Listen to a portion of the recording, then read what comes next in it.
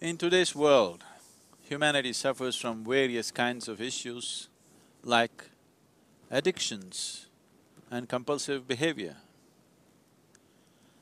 Being addicted to substances, alcohol, nicotine, caffeine, and various other aspects of life.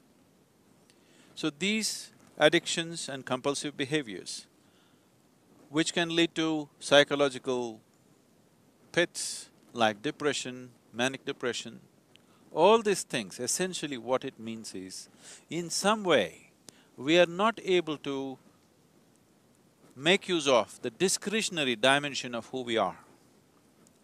To be human essentially means this, that though we have our instincts, though we have our needs, a human being is capable of employing his discretionary mind in such a way that he can go beyond his needs, he can go beyond his compulsive behavior.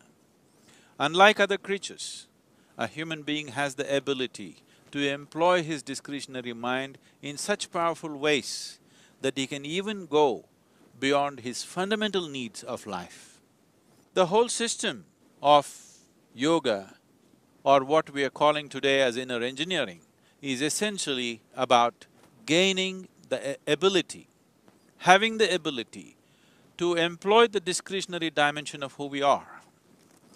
Discretion means that we can conduct our life the way we want it, not the way we are compelled by the situations in which we exist or the chemistry of our body or other kinds of influences upon us.